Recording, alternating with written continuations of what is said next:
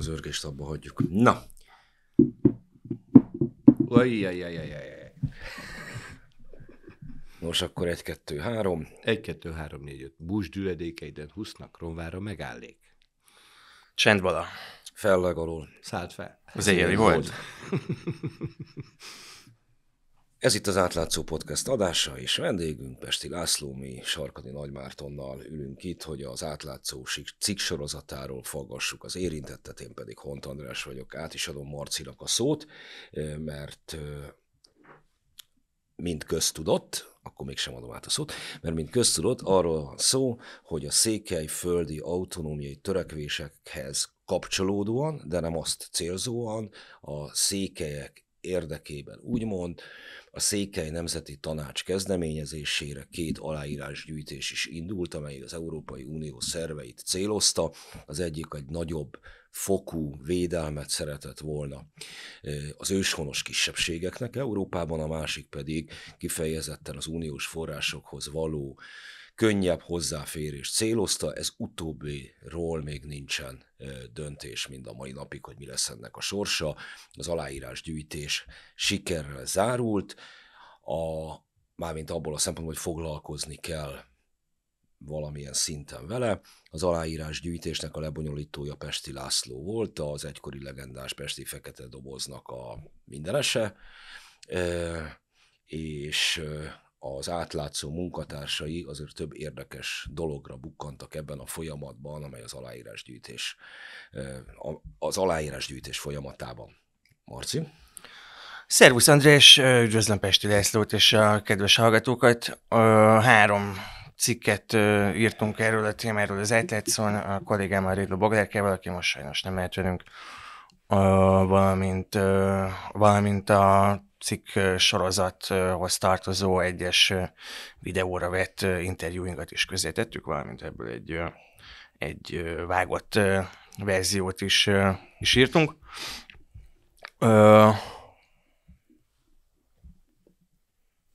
Igen. Igen. Akkor viszont én is köszöntöm. Üdvözlöm Márton, örülök, hogy újra látom. Szia Andris! Szevasz! Neked is, és a technikus kollégát is, aki nélkül nem valósulna meg az adás. Szabó Krisztián kollégám. Nos, csapjunk a lecsóba. Hát szerintem ismertet, következőkről szól akkor a cikket tartalmát ismertet, vagy a cikkeitek tartalmát ismertet, amit nem én írtam, hogy egy. A, mint említettem, a Székely Nemzeti Tanács kezdeményezte ezt az aláírásgyűjtést, hat országból egy millió, hét országból kellett volna egy millió aláírást összegyűjteni ahhoz, hogy érvényes legyen, de tíz országból két milliót ígértél vagy szerettél volna.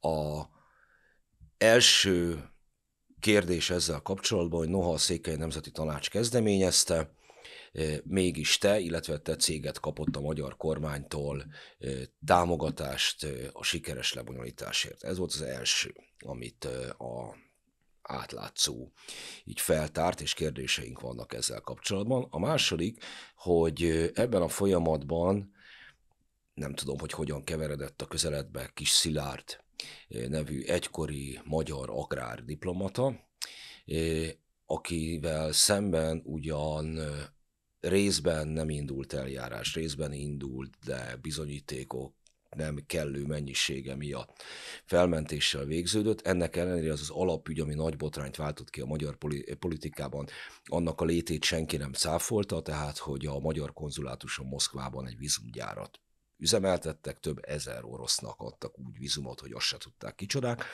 Kis Szilárd a te tolmácsod volt, hogy ebben a csapatban e, részes volt, amikor Baltikumban jártatok, amelynek, ha jól értem, az lett volna a cél, célja, hogy a lettországi orosz kisebbséget, illetve az orosz kisebbség szervezeteit megnyerjétek a székelyek ügyének, kvázi, hogy hasonló cipőben járnak.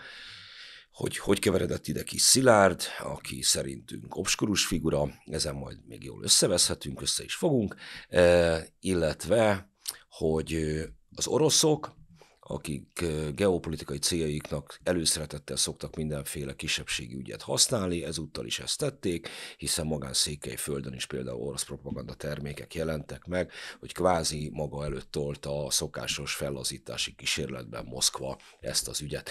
Jól foglaltam össze? Az utolsó helyítást szerintem nem tettük meg, az első kettőt, ezt igen. Ez az utolsó állítást, akkor azt én fogalmaztam. Értem. A kérdés az is, hogy körülbelül öt dolgot mondtál, ha explicit egyenként megválaszolhatnám, tegyük föl egyenként.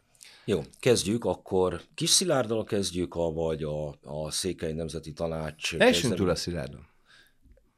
Jó, essünk túl Szilárd. Szilárd. Szilárdra fogunk esni. Na. vagy puhára. Na tehát, Szilárd, Kis Szilárd. Igen. E, abban az időszakban, sok évvel ezelőtt, amikor ez a bizonyos büntetőügy Kis Szilárddal szemben elindult, akkor mindent neve, mindennek nevezték őt simlis lobbistának, és most nem sorolom fel az összes már-már Homéroszt idéző eposzijelzőt és kelléket. Bizony. Szerintem sok, ez azért ez sok nem, nem Homéroszt idéző epiteton orlansz, hanem a simlis lobbista az esetében szerintem eufemizmus, de legyen. Igen, az is szerencsé, hogy a szerintedet elétetted nagyon bölcsen, hiszen a véleménynyilvánítást a magyar törvények szabadon engedik, és a tényállítást lehet esetleg peresíteni, tehát az szerintem nagyon helyen volt. Én szerintem meg nem, de hát gondolom ennél tárgyilagosabb és tényszerűbb beszélgetést szeretnénk folytatni, mint hogy éppen most egy öt évvel ezelőtti exponált emberről mit gondolunk. Na, kis szádon kapcsolatban két dolgot emelnék ki. Egyik, hogy nem hármat. Egyik, hogy ez az egész Európai Uniós aláírásgyűjtés, ugye minket meg két évvel megelőző, te is utaltál a Minority Safe Pack-re, ami mögött ugye elsősorban a FUEN, Európa talán legnagyobb őshonos nemzeti kisebbségeit védő és velük foglalkozó Európai Uniós szervezete áll, de hát azért a erdélyi politika is, például az RMDS keményen segített. Minket két évvel megelőztek, az ő példájuk, az ő tapasztalataik nagyon sokban segítették a mi munkánkat így két évre rá. Fontos tudni, hogy Kis Szilárd jogerősen, nagyon régóta, minden vádpont alól föl van mentve.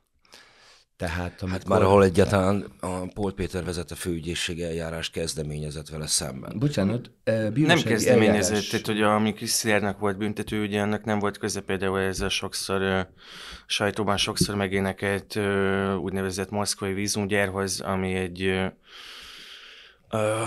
amit ráadásul egy a külügyminisztérium belső vizsgálati anyaga alapján tudósított a sajtót. Itt a tudomásom szerint kiszállott, soha nem vádolták azzal hivatalosan a Polt Péter vezető ügyesség részéről, hogy ő a moszkvai vízumgyár ügyében bármiféle bűncselekményt követett volna, volt Kiszternek büntető ügye, ez mással volt kapcsolatos ebben valóban ö, föl is mentették a moszkvai vízumgyár ügyében, emlékeim szerint ö, nem talált bűncselekményre Például a nyilvánosságra került hangfelvételeket nem tekintett bizonyítékú erejűnek a, az ügyészség. Uh, uraim, a, most úgy tűnik, mert nem térek el a témától, de ugye Bodoki Tominak a, itt a átlátszó stúdiójában ülünk, főszerkesztőjének, akit nem tegnap óta ismerek, én telefonon is és levélben is értekeztünk, ennek a cikksorozatnak a kapcsán előtte és utána is, és ugye arra hívtam fel a figyelmét, hogy kétfajta módon lehet hát nem teljesen valósat állítani. Az egyik, amikor egy újságíró, legyen az tévés, rádiós, online, teljesen mindegy, írott sajtó, explicit hazudik. Egy olyan tényt állít, ami bizonyíthatóan nem úgy van. A másik pedig, amikor implicit a sorok között olvasva szegény olvasó, tévénéző, rádióhallgató, mm, ugyan kimondottan hamis tényállítás nem hangzik el, de ismerve szakmánkat, az újságíró kollega, mondom, bármilyen médiában is dolgozom, ő tudja úgy formálni, rendezgetni a tényeket, hogy ne legyen peresíthető, de mondjuk 5 perc, 10 perc olvasgatás után az olvasóban mégis kialakuljon egy kép. Hát ne nézzük már egymást hülyének. De jó, jó, jó, de a, akkor mi az, amit hát explicit hát módon a... nincsen kimondom, én nagyon szívesen kimondom explicit, hogy a... a Na, mondok egy példát. Bukott moszkvai diplomata vitte orosz irányba az Európai Uniós székely petíciót. Kis Szilárd nem bukott. Ez most íródott, nemrég ez a cikk. Jó rég fölmentették. Ne haragudj, Kettő. én- De hát ez, ez, ez, ez a magyar Ez szavak kettő. szerint, ez a bukott szerint, hát én, én ennek a, ugye nem A én írtam a szöveget, de minden mondat, minden szavát én ezt a magam részéről vállalnám, és alá tudom támasztani. Ez egy kiszer moszkvai agrárattesé volt, majd őt felmentették ebből a pozíciójából, azóta Ezt a nem hétköznapi nyelven bukottnak hívjuk. hasonló pozíciót a magyar diplomáciai karban. Én azt gondolom, hogy még egy-egy négy éves parlamenti ciklus alatt is mentenek föl diplomatákat, mert öregek, mert elfáradtak, mert jobbat találtak, mert Pálfi helyezik. István bukott Dublini magyar nagykövet. Igen, ezt, ezt lehet. Most, hogy ezt, ezen Pálfi a... is bukott? A Pálfi Pisti bukott? Amúgy Hát kollégánk. ezt így, igen, igen, de ezt el lehet így mondani. Most, hogy ez a jó indulatú, rossz indulatú. Na hát erre De- mondom azt, hogy nem peresíthető, de rossz indulatú. Tehát az, a bukott szó, gyerekek, hát most azért, mert valakit hazarendelnek.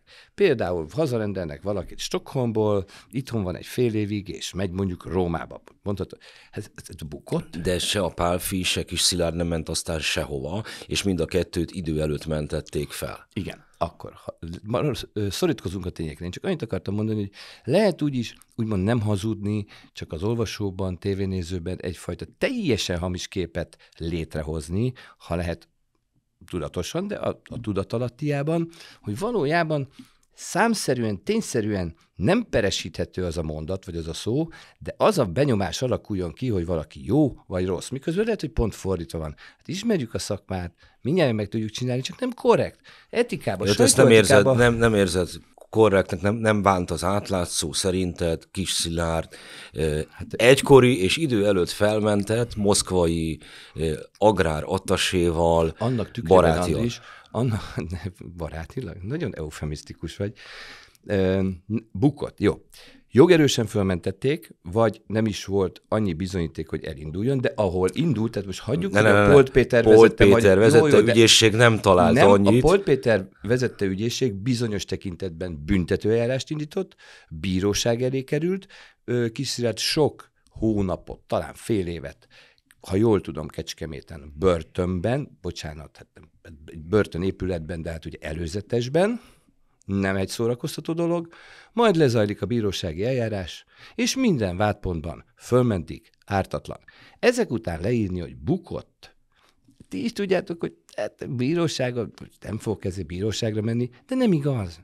Igen, akkor bukott. De azóta fölmentették, és azóta kereskedik, élelmiszert visz ki, Őt vesztegetés miatt mentették fel, valami ilyen tokai szövetkezet, nem tudom miben indult, én ebben most nem vagyok különösebben képben, ez egy, mert ugyanis nem erről beszélgetünk, az egy teljesen másik. Azért mondom, hogy esünk túl Tehát a moszk, mi a moszkvai eh, vízumkiadásról beszélünk, melynek a létét nemhogy nem tagadták a magyar szervek, hanem egyenesen úgy indult az ügy, hogy egy belső volt vizsgálat Szilárdnak? igen, egy belső vizsgálat tárta fel, és ennek a belső vizsgálatnak az eredményeként mentették őt fel. Ő egyébként nem külügyi vonalon került oda, hanem az akkori agrárminiszter Fazekas Sándornak a környezetéből került a Ezt én is diplomáciába. Igen, de leírni valakiről, hogy bukott, Buk, a bukott Fazekas Sándor agrárminiszter. A bukott, igen, igen, igen. Ezek szerint lehet, hogy holnap mondjuk itt valamelyiketek elmegy egy másik, akár online orgánumhoz, és itt közös megegyezéssel elvárik, hogy elmész az Indexhez, az Origóhoz, a 24 ponthoz, mindegy. Akkor te bukott vagy? Tehát azért, mert valakinek Hát, megszűnik egy... ez Szóval tényleg azért- azért- azért indulatnak fölös- az a szintje, ez a bukott Ezen szó, de ne azért ragadjunk le. fölösleges ezen rugózni, Szerintem mert rá, rólam ennél sokkal rondábbakat szoktak írni, sokkal explicitebben, ennél a példánál maradunk, a, a, az összes ilyen ellenzéki alja orgánum, amikor én eljöttem a HVG-től, az utolsó percig próbáltak marasztalni, mindegyik megírta, hogy kirúgták hontot a HVG-től, a nyugati fénytől, a nem tudom mi. Most nyilván ez az explicit hazugság, és azt hiszem, hogy ez legyen a legnagyobb baj a magyar sajtóban, hogy egy ember, aki a te szívednek kedves, annak a karrierjét ezzel a hétköznapi kifejezéssel foglalja össze két újságíró. Igen, de én még egyszer nem, ismét, nem szeretném ismételni magam, hiszen tudom, hogy korlátozott a műsoridő, de van Itt a, az explicit reggelig, hazugság, kedvedért bármeddig. van, a, ami tényleg peresíthető, mert olyan valótlan, hogy a napnál világosabb, és van a sorok közt sunyin laposan megfogalmazott, feltételezésszerű, ügyesen összefoglalt, mondjuk azért az kell már 5-8 mondat, tudjuk jól, hogy kialakuljon egy teljesen hamis kép az olvasóban nézőbe, ügyesen, laposan, sunyin, nem tetten érhető, de a kép kialakul szegény olvasóban, nézőbe, hallgatóba. Na most ez is van benne bőven. Ezen a bukotton most tényleg ne, ragozzunk, ne rugózzunk tovább, azóta jogerősen fölmentették, üzletet köt a magyar élelmiszeriparnak, nagyon jó piacot hoz Oroszország, egy 150 milliós országról van szó. Most éppen embargósodik. után elvesztettünk, most próbáljuk visszaszerezni. A bor terén, még az országimáshoz is köze van annak, amit Kiszárd az utóbbi mondjuk fél évben, egy évben tesz. De hogy találkoztál vele? Nem emlékszem, de hogy 91-92 volt abban biztos vagyok, tehát 30 éves a barátságunk. Akkor mit csinált éppen? Ö, hát szerintem nemrég végezte el az egyetemet, amúgy Moszkvába járt. Ö, a barátnőjére emlékszem, nagyon csinos hölgy volt, 30 éve is, és és hát kereskedelemmel foglalkozik. Élelmiszer, tehát ő neki a végzettsége, a jól tudom, mezőgazdaság, illetve élelmiszeripari, talán valamilyen, de felsőfokú végzettsége van. A magyar élelmiszert vitte orosz piacra, amivel szerintem az országnak adó, vám, stb. mindenféle bevételeket hozott, és még az országimáshoz is hozzájárult. Tudom jól, hogy... Jó, szóval te, te őt nagyon régen ismered még a NER Igen, és vannak nyilván személyes dolgaink is, lehet, hogy még most is ott tűnik a Csecsen háborúban, ami azóta rég megszűnt, hogyha ő nincs, és nem segít, hogy onnan a második csecsen Jó, tehát van egy emberi viszony miatt, ami mint miatt... tudósító, de valahogy bementem, és nem biztos, hogy ki tudok jönni, ha ő nem segít, és mesélhetnék 30 év sztoriait, tehát most, de különítsük el a mi emberi viszonyunkat attól, hogy igaz-e, ami itt le van írva, vagy nincs az átlátszónál, és nem igaz. Az sem igaz, de hát persze ezt is nehéz lehetne peresíteni, hogy hát igen, e, igen, explicit igaz, hogy megbukott a nemzetbiztonsági átvilágításon. Csak van egy probléma, amit az átlátszó elfelejt hozzátenni, hogy ilyen esetekben általában van némi írott jogi háttere is a, ennek a dolognak, vagy jogintézménynek, de van egy nagyon erős szokásjogi háttere, hogyha valaki x időt, általában 5 év, pláne egy problematikus országban, mert Oroszország mindig is problematikus volt, valljuk be. Ez nem negatív és nem pozitív, problematikus. Tölt, akkor nem megy át. Az esetek 99%-ában a nemzetbiztonsági átvilágításon sokan nem is mennek neki ennek, hiszen már x éve valahol vannak, gyanús, furcsa, stb. stb. Nem megy át. Nem megy át. Tehát nem ő nem ment át, a, bocsánat, több ezer ember nem ment át, és már csak a hallgatóknak megpróbálom ezt rögzíteni, amire te most utalsz. Arról van szó, hogy amikor ő agráratassé lett a moszkvai konzulátuson, akkor egy nemzetbiztonsági átvilágítást végre kell hajtani, mint a, a külképviseletek vezető tisztségviselőinél ez előírás, és ő ezen a nemzetbiztonsági átvilágításon nem ment át, kockázatok, nemzetbiztonsági kockázat tot rejtőnek ítélték meg a, a szolgálatok, tehát a magyar titkos szolgálatok a személyét, és ennek ellenére látta el a hivatalát. És ezt a tényt, hogy ő egyébként a nemzetbiztonsági átvilágítással nem felelt meg, elhallgatták. Én Na most ezt például nem tudom, kihallgatott el és mit, de ezt talán tőlük kéne megkérdezni. Úgy tudom, a velem folytatott beszélgetés, ez a cikk sorozatról Nem, nem, csak most elmondta, valaki elmondta. Hogy ezt most például baromra nem is tudom, ez most új nekem, hogy valaki valamit állítólag el, ezt nem tudom. Őszintén nem tudom. Hát utólag azt derült tudom, ki az ő vele foglalkozó cikk sorozatban. Összefoglalva, hogy minden vádpontban a bíróság jogerősen fölmentette. Egy másik ügyben. És semmilyen vádpontban nem bűnös, tiszta, és ami a gyakorlati része pedig, hogy kvázi most ilyen 50-es évekből vett szóval rehabilitálták, még elnézést is kértek a sok hónap ártatlanul börtönben lehúzott idő miatt, és most kereskedik, hasznot hajt újra az országnak, hogy szabadon dolgozhat, mert szabadon dolgozhat, most speciál, főleg tokai és egyéb borokat visz az orosz piacra, ezzel pénzt és presztishoz Magyarországnak. Pont. Jó, tehát van egy ember, akit te ismersz a 90-es évek. Hogy tegyek fel egy kérdést? Várj másodpercre. Eleje óta, aki aztán miközben mindenféle bizniszeket folytat. Ez a mindenféle bizniszeket folytat. Nem, hasznot hajt az országnak. Tehát de nem, azt mondjuk ezt... csak innen meg onnan. Érted, de... Andris? Hát, na ez a szakma, igen. Igen, igen de, de hát, bocs, egy, hát, egy kereskedőre nem azt fogod mondani, hogy hasznot hajt magának, vagy hasznot hajt a falujának, vagy a közösségének. Nem az, mindenféle bizniszeket. Ez olyan, sok... emberkereskedelmet folytat. Nem, nem, én nem. Hát, mindenféle, az... érted? Tehát értik ezt a hallgatók, ugye? Ugye tetszenek érteni? Mindenféle. Sok. Nem, nem, ebbe ezt most te hallod bele, tehát kereskedik, üzletel, él a, a, a kibontakozó magyar kapitalizmusban és a kibontakozó orosz kapitalizmusban.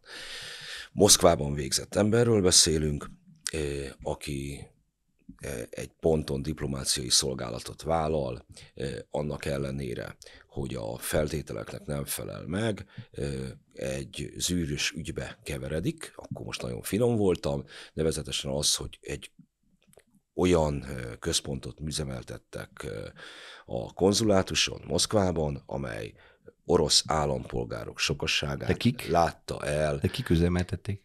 Többen, például Kis Szilárd, ezzel kapcsolatban nem indult végül eljárás a Polt Péter vezette ügyészség részéről Kis Szilárdral szemben, de nem indult eljárás egyetlen egy olyan újságíróval szemben sem, aki ezt a, a vádat megfogalmazta Kis Szilárddal kapcsolatban, és leírta például az, az Index, ahol ez először megjelent annak idején. Most akkor tudom, hogy nem illik egy pláne egy riport, mezei riportalajnak visszakérdezni. Az, hogy nem indult el eljárás. Most eh, akkor ebből nyilván az következik, hogy a Port Péter vagy a magyar hatóságok szemet hunytak, sunyiznak, eltusolták. Nem, lehet, hogy azért nem indult eljárás, mert már az alapos gyanú sem állt meg. Tehát mondom, Ebben az lehet esetben úgy rágalmazásért eljárást csak... indított volna az illető lapokkal szemben, de ezt ő sem tette. Hát ugye Pesti úr hát most a... elmondta, hogy ön szerint uh, miért bukott meg Kiszler a nemzetbiztonsági átvilágításon. Noha javítson ki, hogyha tévednék, ez egy feltételezés az ön részéről, hiszen ezek az átvilágítások nem nyilvánosak, azt az azokat elvégző hatóságoknak a munkatársai ismerik, illetve adott esetben, hogyha erről valamilyen formában szükséges beszámolnia a Nemzetbiztonsági Szervek parlamenti felügyeletét ellátó Nemzetbiztonsági Bizottság előtt, zárt ülésen nyilván, akkor azt a zárt ülésen résztvevő parlamenti képviselők ismerik meg. Ezt nem tudhatjuk konkrétan sem én, sem ön, felteszem igazából még kis Szilárd sem, hogy pontosan mit tartalmaz ez az átvilágítás, vagy az abból készülő jelentés, ami, közben ami miatt megbukott. És valóban nem azt írtuk le ö, a cikkünkben, ami az ön feltételezése azzal kapcsolatban, hogy miért bukott meg Kiszér a nemzetbiztonsági átvilágításon, meg nem is azt, hogy mi az én, nem tudom, szomszédom vagy munkatársam feltételezése arról, hogy miért bukott meg, hanem megkérdeztünk egy, egy olyan embert, aki országgyűlési képviselőként részt vett a Nemzetbiztonsági Bizottságnak mind a kettő olyan ülésén, amikor Kis Szilárd személyével kapcsolatban kaptak a képviselők tájékoztatást a szerveknek a megjelent képviselőitől. Ez az országgyűlési képviselő, Szél Bernadett, ő, ő azt mondta nekünk, hogy az ő meggyőződése szerint idézőjel Kis Szilárd orosz érdekeket képvisel. Na most, Ezt írtuk én el. erre azt tudnám mondani, hogy én nagyon tisztelem a Szél Bernadett képviselőasszonyt, de ennek a kérdésnek az eldöntése, ez egyrészt egy bizottsági, félig meddig, de hogy igazából ezt a polgári demokráciákban bíróságnak, legitim bíróságnak hívják. Tehát ez Szél Bernadett véleménye nem az ő szerepkör ennek a megítélése. De mégis kit kellett, kit kellett volna nekem megkérdezni, mert hogy ki az, aki, ki az, aki erről relevánsan tud bármit mondani, kizárólag a bizottságnak a tagja. Lehet, hogy megkérdezett volna egy másik pártot, most nem is mondok se jobbról, se, az meg azt mondta, hogy szerintem meg ártatlan, a harmadik azt mondta, hogy szerintem meg gáz van, a har- negyedik meg azt mondta, megint csak, hogy nem a Szél Bernadett, általam nagyon tisztelt Szél Bernadett szerepköre a magyar társadalmi munkamegosztásban ennek az eldöntése, ez az ő véleménye. Lehet, hogy még hat ember tudnak megkérdez, három ezt mondta volna, három azt, tehát nem érzem relevánsnak az utóbbi megjegyzést, de hadd tegyek hozzá valamit. Amit Andis ti mondtok, amit Márton önök mondanak most, az egy kicsit, nem pont, de Andis, tudod, mire hasonlít? Nem. Nincs bizonyíték, sőt, jogerősen fölmentik.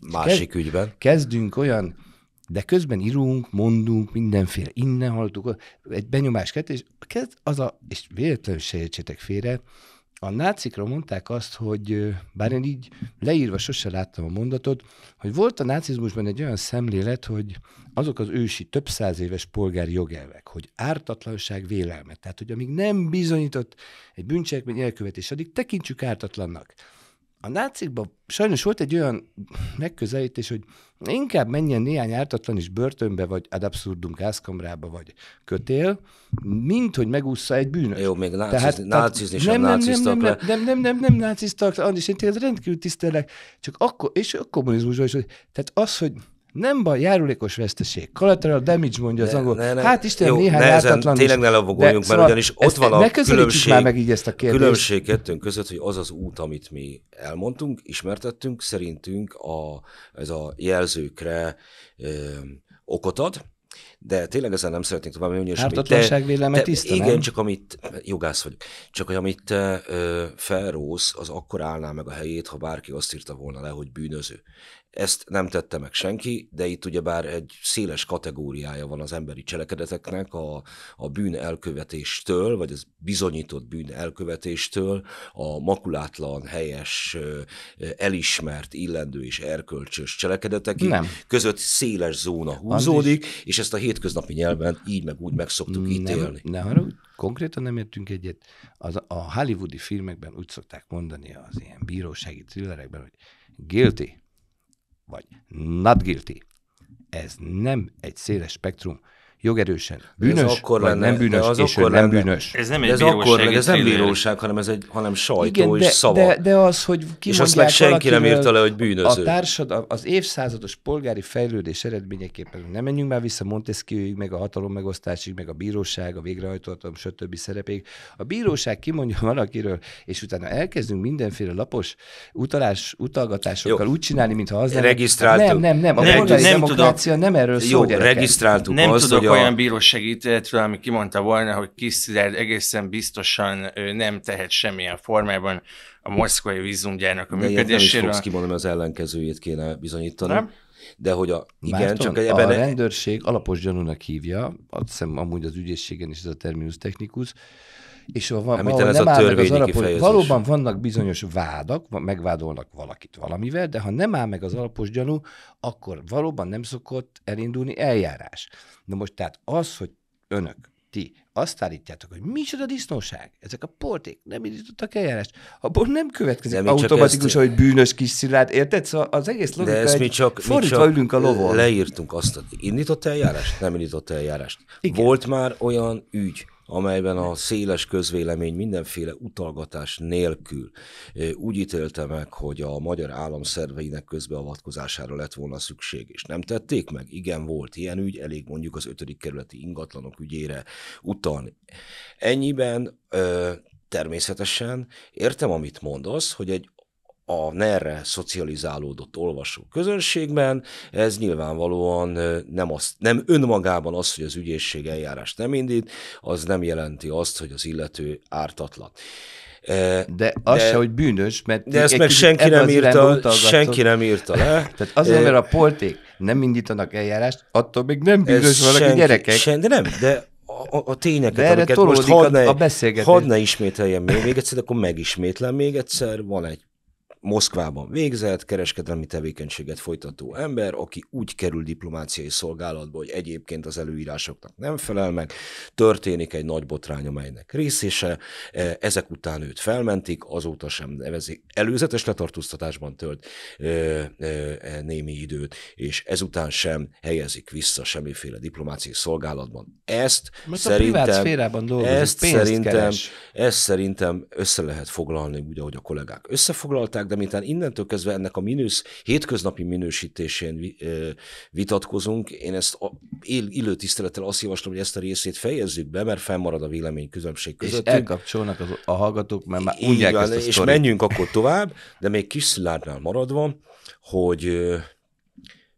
ő segítkezett abban, hogy ti a Baltikumban partnerekre találjatok?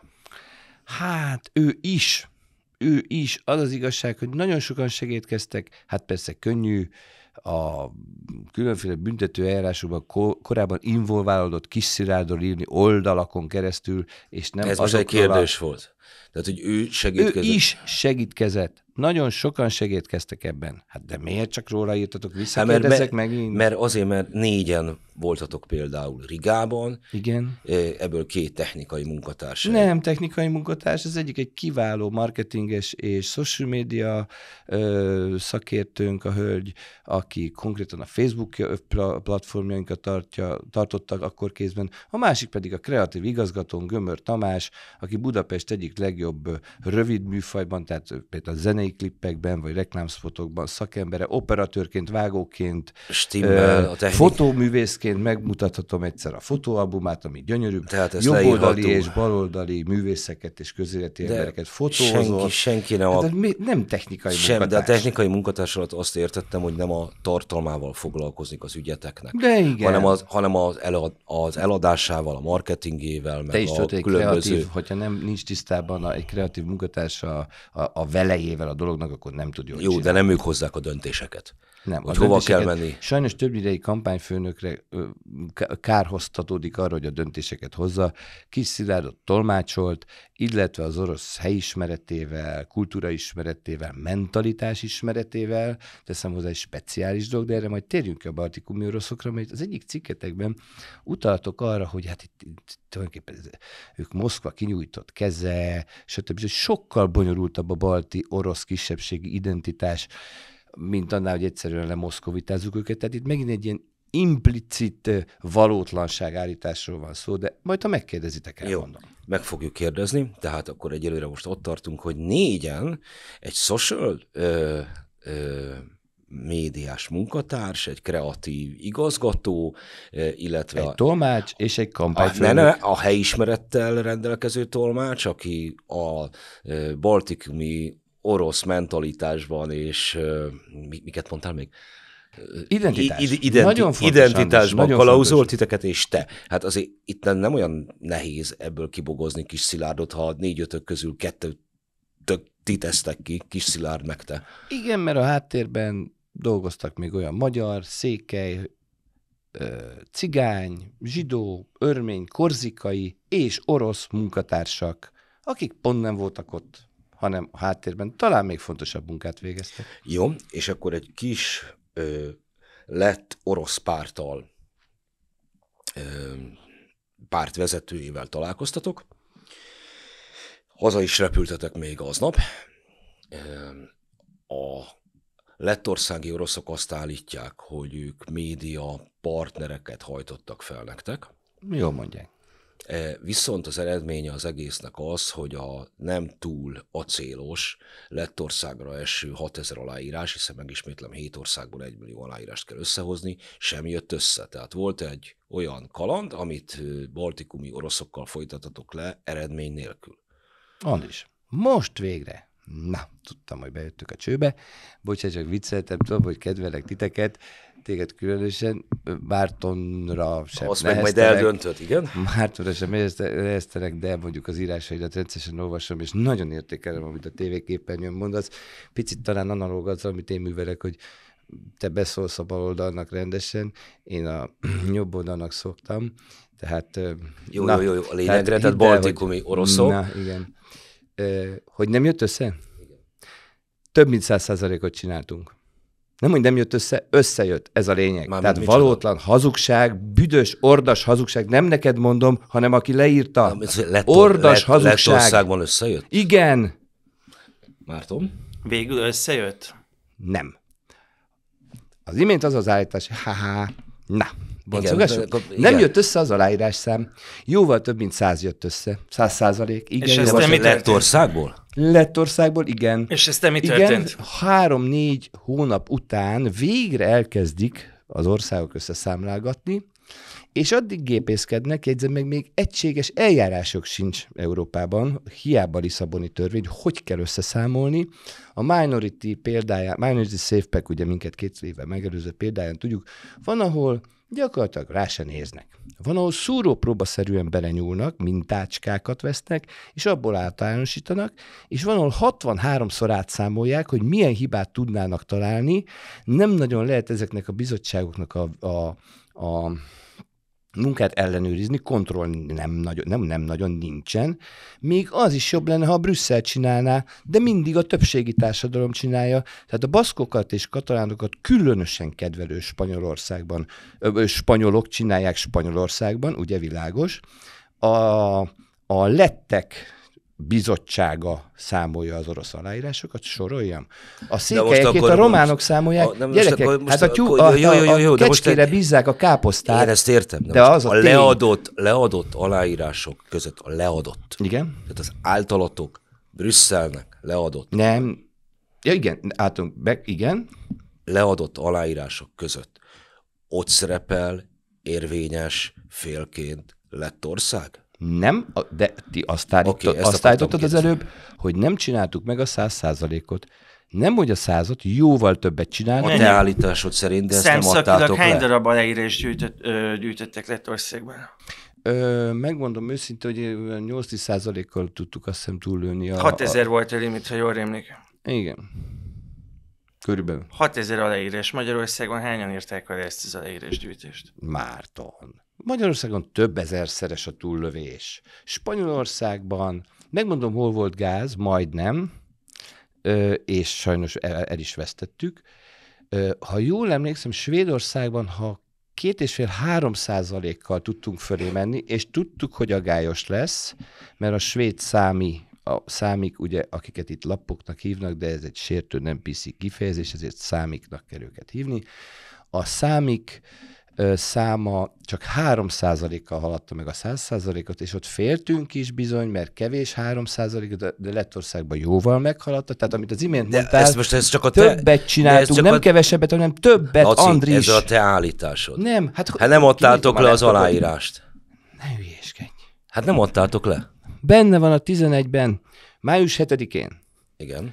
2021. május 7-én ugye a Lisszaboni törvényből származtatott ide vonatkozó jogszabály azt mondja, hogy hoz, hoz bizonyos esetben hosszabbítgatható ez a bizonyos egy év, és ugye beült a koronavírus, hosszabbítanak, hosszabbítanak, hosszabbítanak, mert nem lehet dolgozni rendesen koronavírus alatt, kapunk először hosszabbítást egy fél évet november hétre, aztán még egy negyedévet febru- következő február hétre, és aztán végül az utolsó hosszabbítás a már újabb május hét. Tehát összességében, de a törvény előírja, hogy ha ha bármi történik, sem lehet két évnél De tovább hozzá. Itt nekem most és, kettő dolgot és, mondtál, ami egymást kizérne. Arra válaszol, kérlek szépen, igennel vagy nemmel, igen. hogy a Lettország által prezentált 6000 aláírás, igen. vagy egy szükségesen prezentálandó 6000 aláírás végül ott szerepel a között, az egy millió között, amit ti leadtatok Brüsszelnek. Nem egy milliót adtuk, hát ha olyat kérdezel, ami nem úgy van, arra nem tudok válaszolni. Na tehát. 1 millió 380 ezer körülbelül, amit leadtunk. 1 millió 380, na, 1 millió, nem 1 millió. 1 millió 380 ezer körülbelül leadott aláírás között szerepele több mint 6 ezer lettországi? Ez kérdés. Jó kérdés. Köszönöm. Okos fiú. Na, pontot nem. De egy nappal előtte még igen. Tehát ami, ami elkezdtek számolni. Na, Feloldhatom ezt az ellentmondást? A következő, jóval többet csináltunk, mint száz, az imént azt állítottad, Andris, de nem kötekszem, hogy nem csináltuk meg a száz százalékot. Nem igaz megcsináltuk, sőt túllőttük kb. 10%-kal. harag, akkor megint, a helyi bíró, megint a helyi, szemantikai vita a helyi, van közöttük. A helyi bizottság lefűrészelt belőle mondjuk 11-12 százalékot addig gépészkedtek, tehát hiába lőttem túl a 100 százalékot, annyit lefaragtak, addig ügyeskedtek, hogy egy picit száz alá tolták a lettek az orosz aláírás számot, és ezáltal érvénytelenítették az amúgy jóval több mint 100 százalékos eredményt. Ezek a tények. Meg tudja mondani, hogy az összes aláírás tekintetében, tehát nem csak az a 6000 6000 vagy 6000 valahány szerz, amit Lettországban gyűjtöttek, hanem az összes 1 millió 380 ezer aláírás tekintetében mennyi volt átlagosan az érvénytelenített aláírásoknak a száma? Meg tudom mondani egy konkrét számot, szerintem ez egyszerűsítsünk. Hét országot ír elő ugye a Lisszaboni, ehelyett mi 11 országot pakoltunk a végső pillanatban az asztalra, és összességében 1 millió helyett 1 millió 380 ezret, Ebből az összeszámolás után három ország elveszett, jó, hát a millió az bőven megvan, azt nem is tudom mennyivel, de az országszám tekintetében hármat lefűrészeltek. Darabra és szerzőkre kérdezem. Szlovénia, Darabra és és. Lettország elveszett az összeszámoláskor, de szerencsére még így is nyolc maradt. Értem, úgyhogy értem, de a kérdés, Siker, szerintem successful, ezt, ezt most már, ezt most már a, a hallgatók is kiválóan értik, szerintem én itt is me- megmaradná, megmaradnék a általunk prezentáltaknál, mármint az általunk megfogalmazott minősítésnél, te meg így is vitatod, mert szerintem az számít érvényesnek, meg sikeresnek, amit jóvá is hagynak Brüsszelben. Leadásnál, igen. Ö, ö, abban az országban a újságírókat börtönöznek be egy rossz mondatért. És a kis, az őshonos nemzeti kisebbség nyelvén szóló tévécsatornákat zárnak be, nem egyet, nem kettőt, nem hármat. És nem, ja, és a, és a kisebbségben élők, most nem, mindegy, hogy melyik országról beszélünk, van ott egy őshonos nemzeti kisebbség, aki egy részének nem adják meg az ország állampolgárságát, ami jogfosztottsághoz vezet, nem szavazhat, és még nem sorol fel az állampolgárság nélküliségnek a, a borzasztó emberjogi hátrányát. Egy, egy igazi egy igazi 250 éves liberális toposzról, human rights, az emberi jogokról beszélünk, ott az állam által oda küldött bizottság számolgat.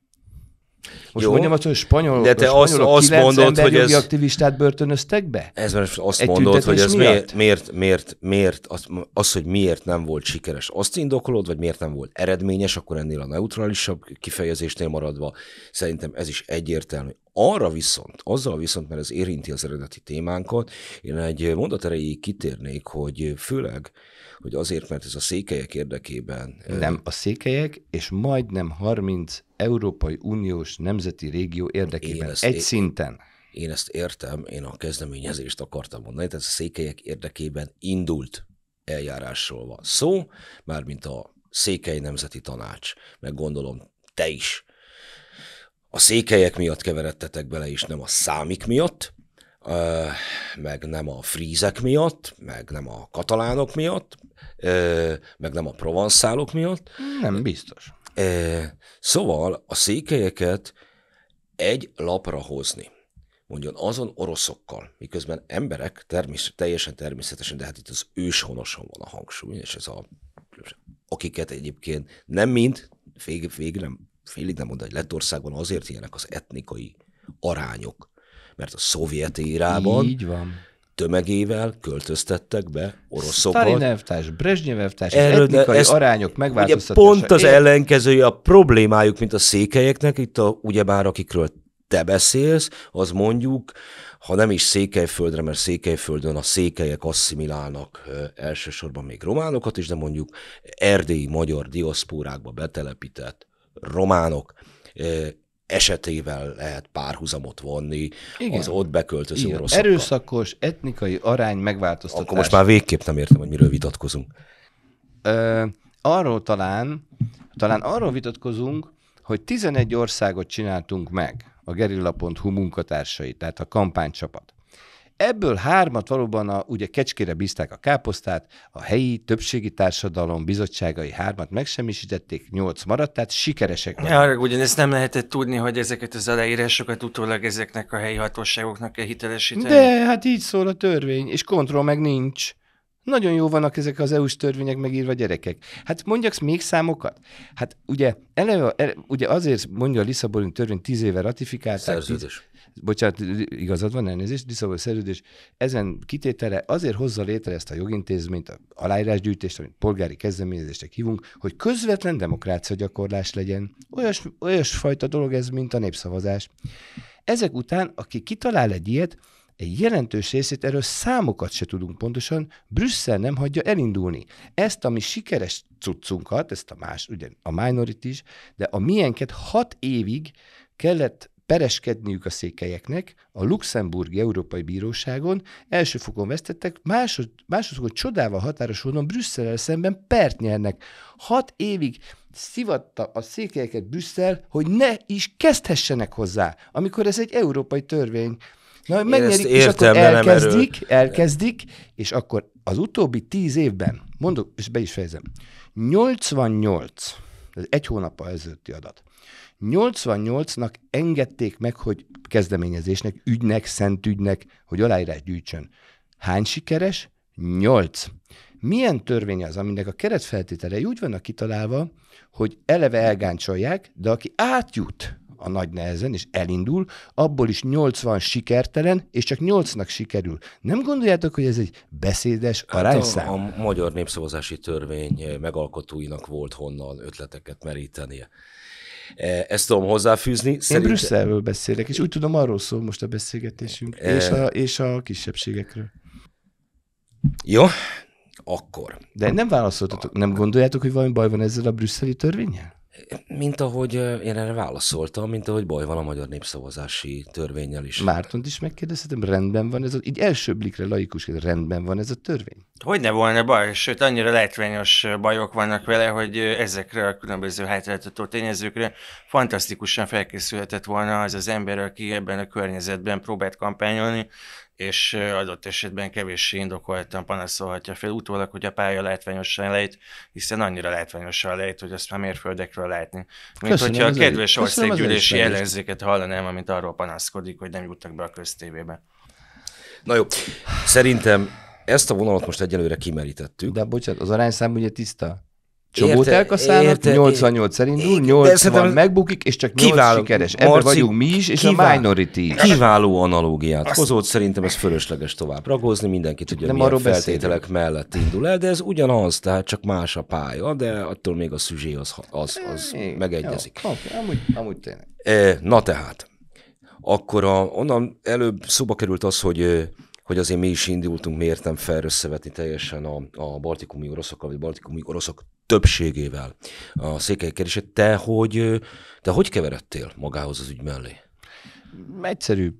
Ö, 19 őszén, most pontosan nem tudom, hogy az október vége volt, körülbelül talán november eleje, volt a Hősök terén egy székely rendezvény, sajnos nagyon sokan voltak, bocsánat, sajnos nagyon kevesen voltak, annak ellenére, hogy, hogy nagyon sok székely ember, vagy félszékely ember, mint én, tartózkodunk, lakunk, élünk Budapesten, és ott egyszer csak fölment a színpadra egy pasas, és elkezdett mesélni erről a sztoriról, hoppá mondom. Öm, Színpad mögé mentem, bemutatkoztam, és megkérdeztem, hogy hát végül is marketing kommunikációs szakember vagyok, 32 éve veszek részt kampányokban, nem egyszer kampányfőnökként, nem kéne valami segítség? Mire megtudtam, hogy hát elég csehül állnak, és aztán elkezdtek bonyolódni a dolgok, de én még mindig úgy arra kaptam, kicsit később Izsák Balázs Budapesten járt, a Székely Nemzeti Tanács elnöke, és mondta, hogy hát Lacikám, akkor esetleg sportolókat, celebeket, popstárokat, rockstárokat, sportolókat, híres tudósok, stb. Tehát esetleg, ha keresnél, mert azok ugye a véleményükkel megtolhatnák a dolgot. Én persze kerestem is. Na most az történt, hogy 19. május 7-én indul el a SNT úgymond aláírásgyűjtése, és 20 januárjában, 9 hónap elteltével 5 százalékon állnak. Maradt egy jó bő 3-3 és fél hónap, és 5 százalék van meg. És akkor az általatok is leírt példa, beszélgetek valaki, és megkérnek, hogy Laci, te legalább értesz hozzá, állj már bele, nagyon ciki lesz. Ha ez így megy tovább, május 7-ére lesz, az 5 százalékból mondjuk 8 80 ezer darab, és Európa összes sovinisztája és szélsőjobbosa, akik ezeket a kisebbségeket már régóta elkézi, a hasát fogva fog röhögni, hogy jól megbuktatok. Nem csak székelyek, a, a katalánér, a frízér, a brötonér indított. Tehát magyarán szólva kezd, valamit. kezdeti kudarcok után egyszerűen te maradtál ott, aki kompetens megkértek, voltál. azt mondták, hogy már látjuk, hogy a maradék bő három hónapban nem lehet megcsinálni egy milliót. Talán egy milliót és hét országot. De legalább ne 8%-on álljon meg a mutató, legalább legyen mondjuk 20, 30, 50 százalék kisebb a, a córesz, kisebb a, kisebb a cikki, hát hogy mondjam pestiesen másképpen. Ö, nem áll 8 százalékon bukjunk meg, akkor, akkor legyen valamennyi, mert nagyon ciki. És akkor szépen én belefeküdtem, e, csináltunk egy stratégiát, kölcsönkértem pénzt, beletoltam a saját pénzemet, Még kölcsönkértem, kalapoztam, fundraisinget, tehát gyűjtést, alapítványokat, magáncégeket kerestem meg. Volt, hogy tartoztam 15 millió forinttal egy héten, de utolsó pillanatban visszaadtam, mert egy szponzor segített. És így Fölépítettünk egy stratégiát, a beüt március el- első felében a pandémia. Az egész stratégia a WC-be lehúz. Nincsenek jótékonysági koncertek, nincsenek foci meccsek, nincsenek gyűjtések a lépcsőházakban és standolás a Blahalúza téren. Három hét szünet. Betoljuk az egészet az online térbe, és már csak négy hét van vissza. És alig vagyunk valahol. És akkor négy hét, nagy pénteken este 8 óra 13 perckor megnyomom az Enter gombot, és föláll egy másodperc alatt a digitális setup egy központi weboldallal, irdalá.hu, és igen, itt vannak pikírt megjegyzések, vagy utalgatások, pontosabban, hogy Pesti László a nevére, sőt úgy emlékszem Márton, mintha megkérdezték volna tőlem, vagy ön, vagy Boglárka kisasszony, hogy mit is kérdeztek, hogy vettem-e föl jogdíjat az irdalá.hu domén kapcsán. A saját 1905 forintomat, mert annyiba kerül egy, egy pont, pont .hu, igen, egy nagy investícióval majdnem 2000 forintot investáltam ebbe a doménba, az enyém, amúgy pedig nem vettem fel jogdíjat, és nem is tudom, miért releváns ez a kérdés, mi, mi, hogy, vagy vettem volna föl, vagy miért vettem volna Azért föl? releváns ez a kérdés, mert volt a Székely Nemzeti Tanácsnak már egy futó weboldala. Igen, akkor A legyen ez, és én azt, azt hiszem annak idén is mondtam, Andis Mártonnak és Boglárkának, hogy lehet, hogy kamerán kívül, de lehet, hogy rajta is van föltenni, hívjanak ide három teljesen független webszakértőt, aki weboldalak UX designernek hívjuk, ez inkább nem is webes munka is, de inkább ilyen szociálpszichológiai munka, user experience-nek a rövidítése, tehát hogy a felhasználói tapasztalatok birtokában a, user, a UX designer tudja, hogy egy weboldalt, ha megnéz egy átlagember, Igen, akkor azt el mondta tudja akkor adni is, a mosóport, megnyomja a gombot, volt. vagy Jó, jó. nem. Tegyék 2020. egybe, bocsánat, befejezem, elnézést, Márton kérdez, hogy tegyék egymás mellé a Székely Nemzeti Tanács oldalát, és tegyék a nemzeti régiók.eu, na most aki 5 percig foglalkozott doméne, azt tudja, hogy a, az EU-s kiterjesztés a kutya nem kattintja. Amerikában még az org a non-profit szférában megy, és a, és a .com, tehát a .com, általában Magyarországon, vagy a .hu és a .com, ami tömegek számára fogyasztható és megjegyezhető. Más kiterjesztés nem. Az én irdalá.hu pedig a másik, tegyék két, hívjanak ide UX designereket, ítéljék meg a két weboldalt, és majd azok megmondják, nem akarom itt szerintenek, hogy melyik működik, és melyik nem, jó? Ebben már megegyeztünk, amikor Jó, csináltuk a korábbi mindegy. interjút, hogy valóban péntek. szebb az öné. Nem szebb, nem. ne- Jobb, ez- szebb, nem, nem, jobb, szükség. jó Haté- nem, Az egyik hatékonyabb. hatékony, a Ahogy másikon tetszik. egy rohadt call to action gomb sincs. Ahogy tetszik, de az öné, Jó, jó, és jó, nem a jó. Székely Nemzeti Tanácsi. 2020 nagy péntekén tartunk, akkor hány aláírás van éppen? Nagy pénteken? A pontos számot nem tudom, de azt, hogy napi mennyi van, azt tudom. Ö, Tehát körülbelül egy négy hét, nem tudom, körülbelül egy hónap, négy héttel a május 7-e előtt napi ezer aláírásra már fölvisszük, tehát már mozog a Kárpát-medence. Sajnos felvidék nagyon kicsit, de mozdul. Székelyföld, Parcium, Kolozsvár környéke és egész Magyarország még egy picit megmozdul, de napi ezer aláírással sehova nem jutunk. Hát nézzük, számoljuk ki, lesz még 30 ezer. És akkor elindul egy folyamat, megnyomjuk a gombot, a digitális setuphoz nem csak a központi irdalá.hu weboldal tartozik, hanem nem volt pénzünk, tehát csak négy platform, ma, ma már 15 platformon kommunikálunk nagyon rég.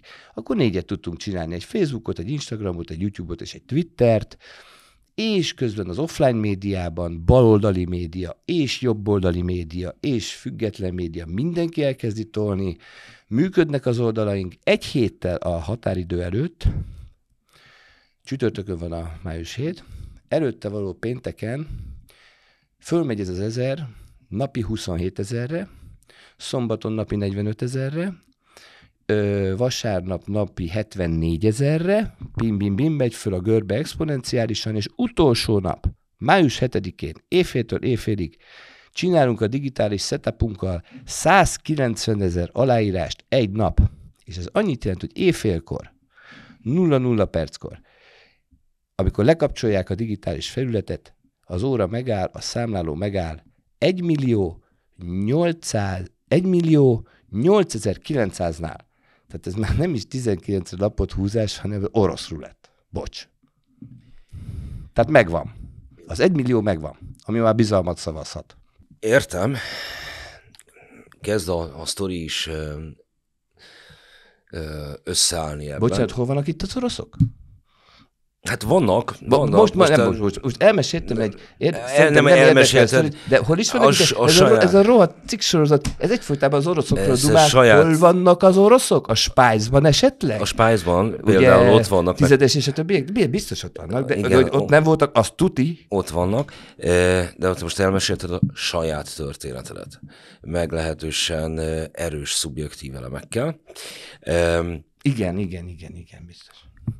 Mi van a Számokkal magyar kormány támogatással? Ez mikor érkezik? Ez Augusztusban.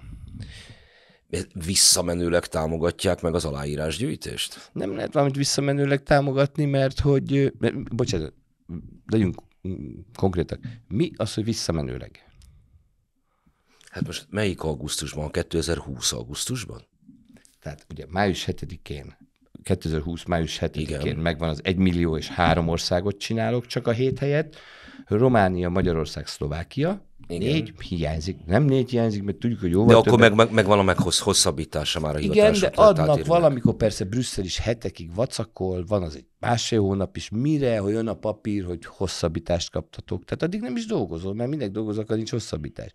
Brüsszel másfél hó- hónapig húzza az időt, na küld egy papírt, hogy lehet tovább dolgozni, mert hogy a pandémia miatt valóban nem lehet normálisan kampányolni, és akkor nyáron új stratégia, augusztusban kormánytámogatás, és szeptember 1-től újraindulunk, mert bár az egymillió úgy elvileg megvan, de egyrészt túl kell lőni, mert tudjuk, hogy a helyi bizottságok bizony, bizony, nagyon És kell szándékkal. Tudjuk, hogy fognak számlálni, és amúgy is hiányzik minimum négy ország, azt is túl kell tolni, mert abból is le fognak venni, mondom én, és úgy is lett. És miért te kapod a támogatást, miért nem a kezdeményező székely nemzeti tanács? Most majdnem mondtam valamit. Hát nyugodtan, ami a szíveden, a szádon. Nem, mert én számtalanszor, a Székely Nemzeti Tanács vezetője mondott rám ezt-azt, talán dehonestálót, talán negatívat, talán mindegy is, nem akarom minősíteni. Én mindig azt, egyből jött a sajtó Erdélyből, Magyarország, hogy Pesti úr, La, Lacikám, hát mit válaszolsz, mondom? Azt válaszolom, hogy össze kéne fognunk. Én egy nagyon jó jogfilozófusnak tartom Izsák Balást, egy zseniális ötletnek tartom ezt az egészet, hogy az anyagi forrásokat Brüsszelből, a kohéziós alapokból, a ősonos kisebbségeknek közvetlenül, tehát zseniális, és pacifista vagyok, a békepártyán vagyok, törjük meg az ezer éves magyar átkot, ne veszekedjünk, együtt, kézenfogva gyűjtsünk tovább. Nem voltam hajlandó beállni abba a vitába, ami az engem ért némi sértő megjegyzéssel Izsák Balázs szájából elhangzott, és azzal kezdődött. Tehát mi a kérdés? Hogy, hogy visszamenőleg kaptam-e? Hát akkor nem visszamenőleg, akkor Tehát, már a hosszabbítás, pacifista voltam. hosszabbítás után, tehát miért a te céget kapja meg, miért nem a kezdeményező? Mint hogy, azért is meséltem el ilyen hosszú, hogy én nem vagyok hajlandó Izsák Balázsra és az, és az SZNT-re semmilyen rosszat mondani. Persze hát ezzel némely politikusok nem így vannak, csak ők is, na mindegy. Úgy Válaszolnál a kérdésemre, azért szerintem kap- ez ennél egyszerűbb Azért volt. kaptam én, mert tudták, hogy, hogy én meg tudom csinálni, ők meg nem. Pont. Ja, na tehát. ö, Bocsáss meg, némi szám, az, hogy kilenc hónap után ők csináltak Én- 5 mondom, ot ez talán megalapozza az, Kezd hogy összeállni bennem meg az exaltált ö, ö, lelki állapotod is. nem de- vagyok exaltált, ne arra, hogy nagyon sok számot mondok, amik ugye Vladimir Illich óta tudjuk, hogy a tények makacs dolgok, ezért igyekszek, igyek- igyekszem minél több számadatot mondani, amelyek konkrétak és megkérdőjelezhetetlenek. Én viszont Bismarck nyomán csak is kizárólag abban a statisztikában hiszek, amit én hamisítok. Igen, Em, Churchill. Sőt, nem is, ez, ez, ez ö, ö, eredetileg Disraeli. Igen? Miért mondják szegény Churchill? A, vannak a tények, az átkozott tények, meg a statisztika, igen, ez így, így, így, hangzott először. És Disraeli. Um, mert, mert, mint ahogy az, az irodalmi idézeteket, azt mind Thomas Mannnak tudják be a politikaiakat, meg mint Churchillnek. Ha, hogy miért utazoltam Moszkvába menet közben, és mi történik Észtországban? Azért utazom Észtországban? Uh-huh. Hát igen, fontolgattuk Észtországot, ha kíváncsi vagy, egy újjal nem nyúltunk hozzá. Igen, igen, igen, végül nem kezdtétek el azt tudom. Hmm, de nem, hogy mert nem vagyunk hülyék. meg közben bizonyos információforrásaink jelentették, hogy a minket két évvel megelőző Minority Safe pack itt megint, ugye a Bodokinak megígértem, hogy azért egy-két konkrét hazugságra fölhívom a cikksorozatban, átlátszó cikksorozatban lévő konkrét valótlanságra a figyelmet. Hajrá! Nem mindre, de hogy még dobok egy-két csontot, már bocsánat, még ha én megígértem a Tominak, akkor meg is teszem. Ö, tehát ugye itt arról van szó, hogy mi, mi nem foglalkoztunk Észtországgal. Tehát az a kérdés, hogy miért kudarc, vagy nem is akartunk. Fölmerült, de mikor megtudtuk egy bizonyos ö, brüsszeli információforrásból, hogy ö, az Európai Bizottság, az az Európa kormánya pár óra alatt úgy semmisítette meg a minket két évvel megelőző Minority Safe Packet, hogy egy fontos európai politikus fölállt, és valami olyasmit mondott, hogy hát ezek a székelyek, ezek vagy vannak, vagy nincsenek. A fene tudja az egészet, de egy biztos, hogy ez kamu. Ez Moszkva koszos, szőrös, kinyújtott keze az európai kultúra ellen és Brüsszel ellen. Tehát kérem, hölgyeim és uraim, húzzuk le a WC-n 5 perc alatt. És lehúzták a minorit a, a WC-n 5 perc alatt, és mindhogy ez az okos munkatársam ezen a több mint 25 fős értekezleten azt mondta, hogy Laci, most ott van Litvánia. Jegyzem meg, ez is egy tévedés. A Litvánia nagyrészt a lengyelekkel van meg, és nem az oroszokkal, mert 200 ezer lengyel van, és több a lengyel aláírásúval, mint az orosz.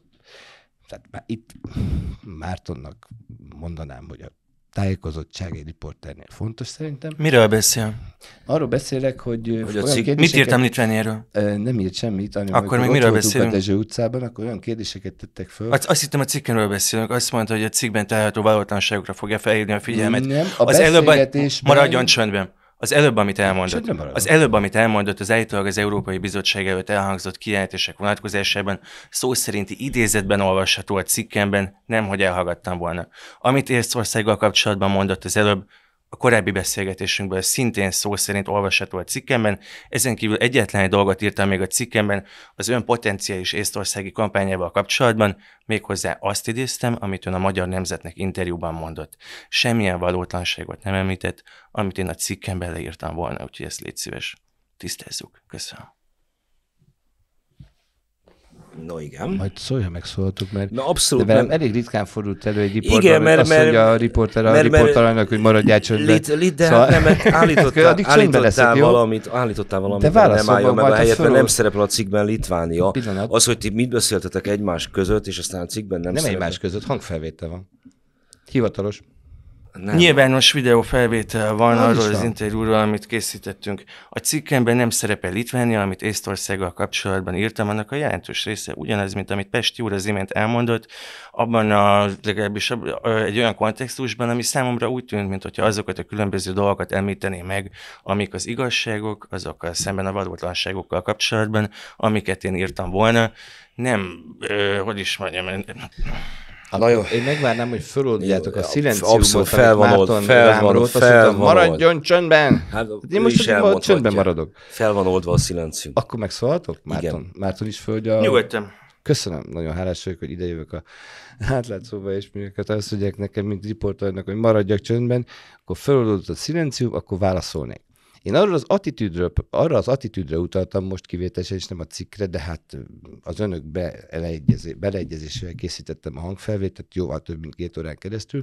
Arról a riporteri attitűdről, hogy a kérdéseikben minden második, harmadik kérdésben már ne haragudjon, merő tájékozatlanságról tettek tanús bizonyságot, nem tudtak adatokat, dátumokat, számokat, stb.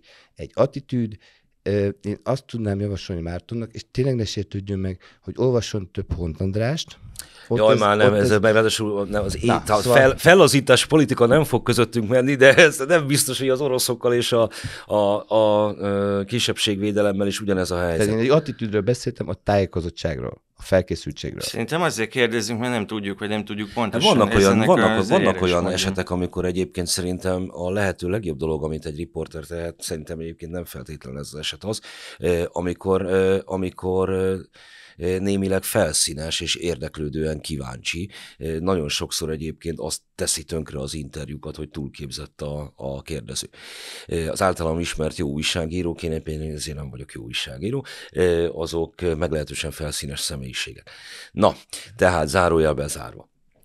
A, hogy Észtországnál volt, tartottunk a kérdésre, hogy nem kezdtétek el. Nem. Illetve a moszkvai utaknál, hogy ott mi történik. De hogy miért nem kezdtük el, az elhangzott most? Igen, igen. Azt Mert ez... két balti orosz kisebbség, az egy tévedés. A litvánok jobbára az ottani lengyelekkel, és egy picit az oroszokkal voltak meg, Lettország az ottani orosz kisebbséggel volt meg, és azt mondta valamelyik kollégám, ha még Észtországot is most megcsináljuk, nem lett volna nehéz az ottani oroszokkal, meg lehetős jogfosztottság van, állampolgárság nélkül akkor a jó Isten nem mossa le rólunk, hogy orosz bérencek vagyunk, és már a szegény minority két, a két évvel minket megőző minority széfpeket is ezzel semmisítették meg, ne dobjunk már, nem utassunk már támadási felületet, és ezért nekiálltunk Belgiumnak, ami ötször több humán erőforrást emésztett föl, és energiát, és borzalmas munka volt.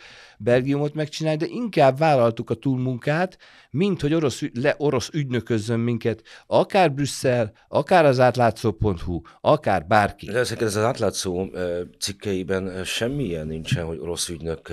Az ügynök szó nem hangzik el. Lennél, hát sőt, sőt, ugye... sőt, sőt, sőt, szerintem a szerintem még az a konnotáció, amit folyamatosan emlegetsz, meg az az érzés, amit az olvasás közben az olvasó érez, szerintem azt is jól kelti fel a, a, a cikk cím, de erre majd a végén. Bocsánat, Azért mondjuk... Nem figyelsz, bocsánat, te mondtad, cikk cím.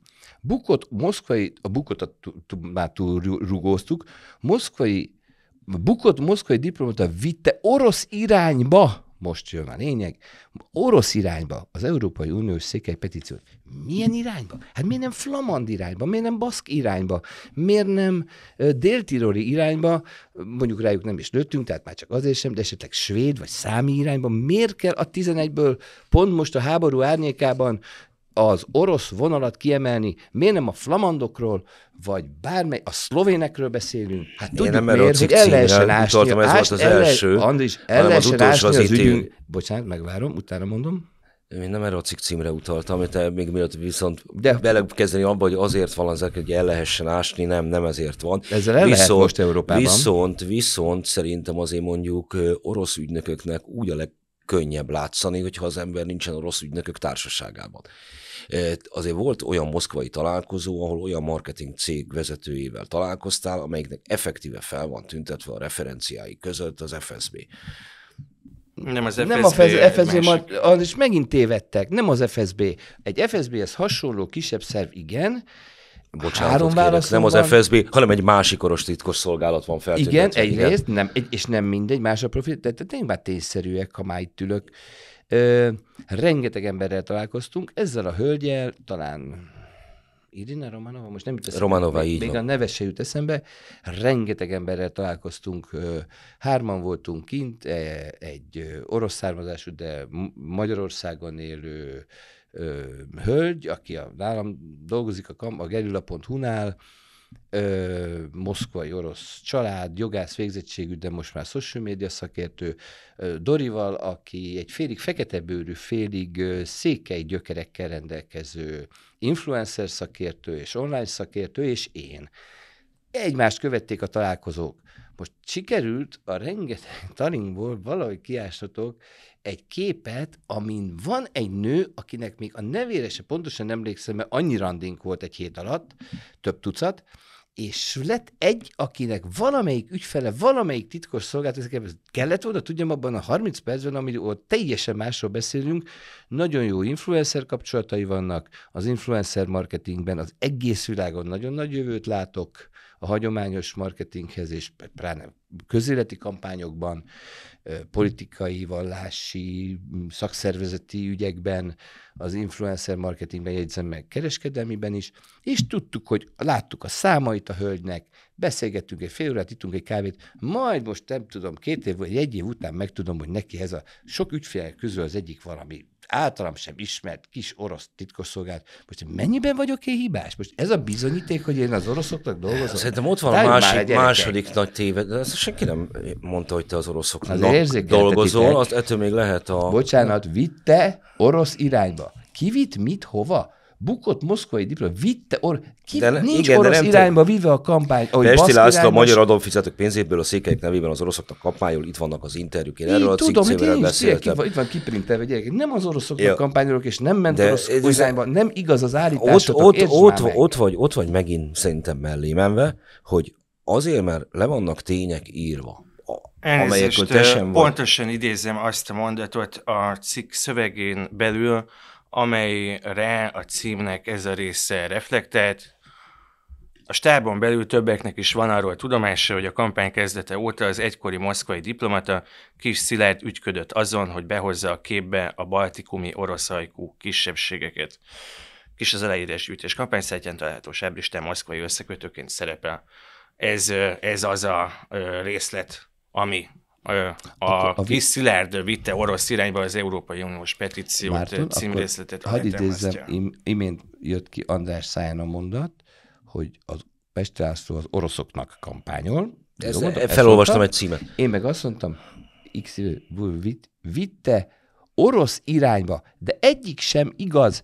Miért pont orosz irányba? Miért nem vádoltok azzal, hogy basz De nem irányba, vádol hogy... senki semmit. Leírunk egy folyamatot, ennek bizonyos de nem, de nem jelzői de nincs, akkor más... neked nem tetszenek, nem. bizonyos minősítések nem tetszenek, a mm. tényszerűségét azért többé, többnyire nem leszek. vitatod. Nagyon tájszerű leszek, Andis.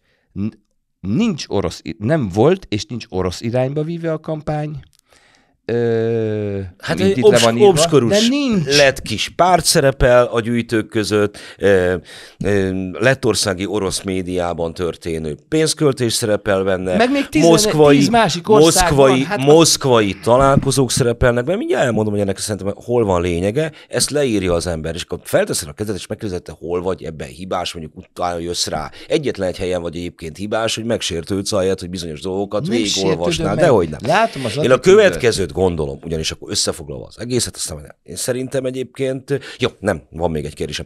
Mindeközben te ezt diplomata útlevéllel bonyolítod?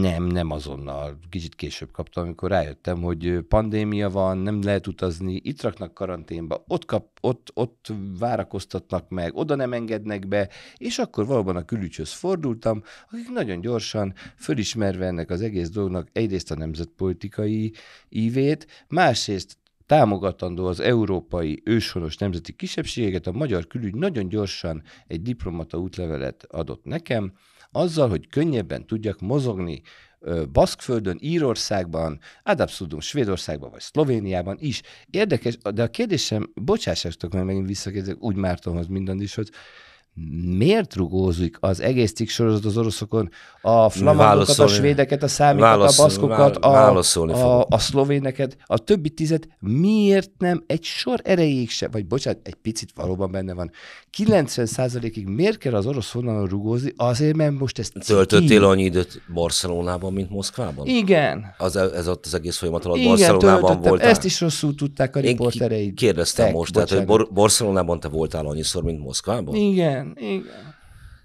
De Moszkva nem uniós ország. Igen, csak hogy a Baltikumból az ott, már ezt ki kell mondjam, elnyomott, jogfosztott, orosz nyelvű, ez a pontos kifejezésük, így hívják magukat, nem oroszoknak, orosz nyelvűeknek, és ennek oka van, ez az identitás, ha csak rövid a műsoridő, kisebbség. Van például emigráció, tehát akik már nem bírják, vagy el kell jöjjenek. Például beszéltem, azért mentem Moszkvába, volt egy konkrét példa, hogy egy Lettországban letartóztatott, meghurcolt, teljesen ártatlanul ö, megtaposott ö, orosz vagy orosz nyelvű polgárjogi aktivista elmenekült Lettországból, és elment Moszkvába, és most ott lakik. Kvázi kényszerű emigrációban még a családját se látta x éve, Ezt tudom, és mert- el kellett menjek Moszkvába, De- de... hogy azokhoz az információkhoz, hogy hogy lehet az ottani orosz kisebbség körében dolgozni, hozzájussak. Szerencsétlen Depardieu-t is annyira nyomták el az adóhatóságok, hogy végül is Moszkvában kötött ki Most emigrációban. Andis, ne légy cinikus, te Ne, nem ne, vagy egy de- cinikus. de- Egy megtiport Nem, de- embernek de- a sorsát ne- ne haragudj. viccelődni, ez nem ízléses. Moszkvában vagy, ott valakik előtárnak sorsokat, pont annak nem mész utána, ami a szakmád, mert nem is tudsz utána menni, hogy ezek mennyire egyébként ö, vetített történetek, mint a Magyar Állami TV és a Magyarországon menedékjogot kérő svéd, és így tovább. Nem fogok tudni olyan sztorikban, amelyeket nem te oknyomozol ki, nem vagy ott Lettországban, nem ismered az egész életútját, hanem oroszok mutatnak be neked, arra én nem fogom azt mondani látatlanban, hogy ez valós. Na jó, de Kizárni sem tudom, de egyébként Oroszország mindezeket De felnagyítja. A miért, következő... miért, miért vélelmezzük, hogy hazudott ez a valószínűleg valóban megtiport és üldözött orosz de nem, mert valószínűleg benne a lényeg. Azért, mert mindent itt a megkérde. Depardieu-vel, Mindent- mindent megkérdőjelezünk. A, a, a Steven Segállal is viccelődhetünk. Nem vicces, Mert valaki ott mindent, kell hagyja a családját, mindent. amikor kijön a De ez, börtönből. ez az történet, ezt te oroszokon keresztül tudod, és minden úgy kezdődik, hogy ezt megkérdőjelezzük. Én innen indulunk, de én a következőt gondolom az egész, Akkor csak azért már tényleg, viccelődni. tényleg kifutunk a, a, az időből másfél órát, vagy a csapkodjuk Pedig egymást. még szerettem volna egy, a Bodoki kérte, hogy mondjak még hazugságot a cikk sorozatból, és nekem még egy utolsó lett. Eddig Van nem sok, de még sikerült. egyet úgy Eddig nem elmondtam volna. sikerült. Na igen, mi a? Akkor hagyjuk, halljuk a hazugságot. Ö, mennyibe került egy aláírás, Márton? Ö, úgy számoltam, hogy onnantól kezdve, hogy megérkezett az állami támogatás, nyilván onnan érdemes számolni. Ö, Nem, nem. Mennyibe került egy aláírás? Az van leírva, megszámolhatnánk, hogy rengetegszer a cikk sorozatban. Mennyibe került egy aláírás? Márton. Elárulom, ön 5 eurót ír. 5 eurót, hogyha Többször arányosan... eurót ír. 5 eurót írok, 5 euró akkor, hogyha arányosan levonjuk az érvénytelenítetteket, egyébként 4,2 Mi? tized, Nem, nem, hogyha nem, minden nem, leadottat nem, számolunk, levonjuk, levonjuk a azt kis is, ö, farkát is. Csináltam 1 millió 380-at. Akkor Ha mi- mit ad- 4,2 euró annyival jobb, ahhoz az 1 euróhoz képest, amit ön leadott, akkor, amikor pályázati támogatásért fordult. Tényleg az a kérdés, hogy négyszeres vagy ötszörös mértékben költötte az magyar állampénzét ahhoz képest, Elmondom mint amit tényeket. ígért. A cikksorozat azt írja, hogy Pesti ö, Prágától New Yorkig kilenc tanulmányt, és ez igaz, föl tudok mutatni az elmúlt tíz évből, nagyon komoly, ezek szerint cseh, amerikai és egyéb nemzetiségű szakemberekkel, akik akkoriban sok éve egy euróra számolták ki, de közben infláció is volt, és ezek a sikertelen, a sikertelen akcióknál volt általában egy euró, és ezek szerint én nem állítok valósat, mert hogy a nagyon, nagyon ügyes és okos átlátszó.hu kiderítette, és százszor leírja, hogy 5 euróba került egy aláírás. Hazugság. Százszor Most, matekult, most matekoltam ki, Százszor itt a ház előtt ültem még a kocsiban, olyan másfél-két euró közé esik, nem öt. Engem Még a fele sincs de- annak, amit leírtok, a, nem, te bocs, amit az újságok de vagy szerintem- portálod leír.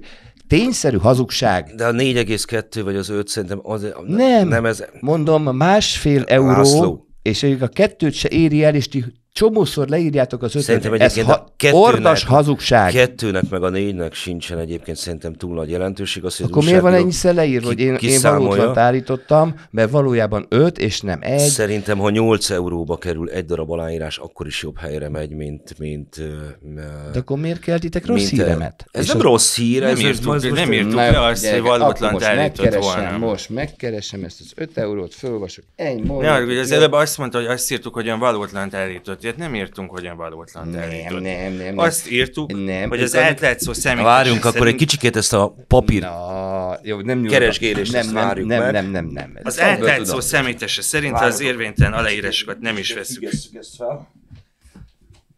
Mit csinálunk, András? Lenyugszunk, amíg te megkeresed a papírokat, én addig Én fejből rájutok, tudom. és innen folytatjuk. Jó?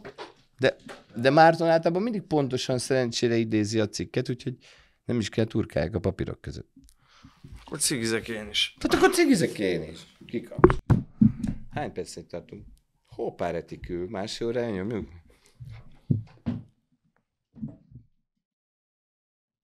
Na. magunkat. Na jó, akkor folytassuk, itt lesz egy vágás majd. Na, tehát.